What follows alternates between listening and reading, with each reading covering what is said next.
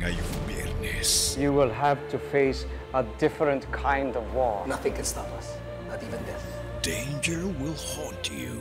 You cannot fail this time. Hindi pa rin ako nawawala ng pag-asa. The second time around. Ate, ano bang gagawin natin kay Minda? Huwag mong intindihin si Minda at ang anak niya. So, magagamit niya bay? Gagamitin ko sa paniningil. Bakit kaya hindi mo kami dalawin dito para makilala mo na yung buong pamilya ko? Hindi ko hayaan mapahamak sila. Heart after Make It With You.